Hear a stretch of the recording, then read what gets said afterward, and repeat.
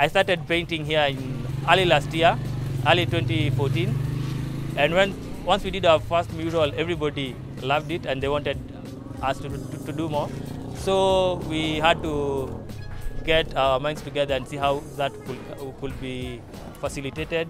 We have the Kochfest, which is the festival whereby we, pre, we get a platform where people who are, in, are talented in this community could showcase. So Talking Wall is a project whose mother project is Hope Raisers.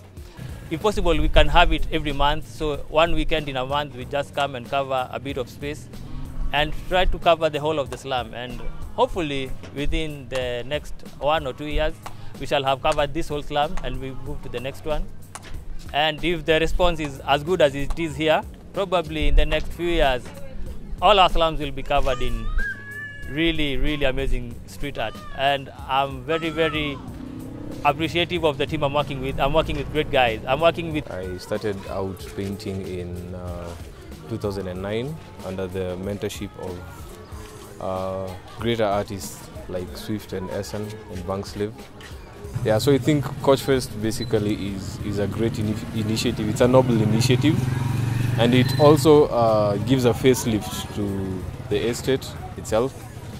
Yeah, so pretty much. Uh, this has been uh, a two weeks uh, event, different activities uh, taking place, and one of the activities, the talking wall. Uh, the idea is just to uh, showcase uh, the talents and the aspiration of young people from Korogocho, together with our friends from different parts of uh, Nairobi.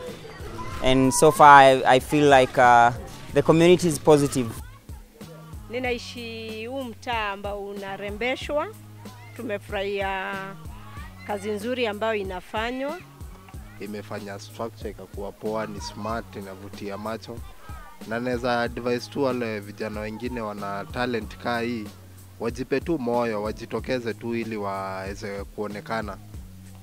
ya watu wa design nyingine yenye hata ukikaribia unaonekana isto, ukiishi unaona yenyewe, ukito- ukiamka asubuhi ukiangalia vile iko tu poa, unaona tu wenyewe uko home.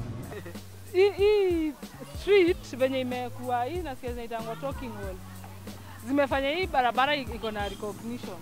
Unaweza ambia mtu akupate wapi, barabara gani, kuna vitu zinafanyika, so ni kazi poa, good work. Hivyo endeleeni hivyo. tunafurahi sana kuona hizi painting na kurealize kwanza na kuona zina paintiwa na vijana na watoto wetu wenye ni wa hii ghetto at least wana get ku understand you, like saa kama hizi na plus shule zimefungwa wangekuwa kwa drugs wakidu vitu zingine kwenda kwa video but, but at least wako engaged kwa vitu zenye zinawasaidia na pia zinasaidia community yetu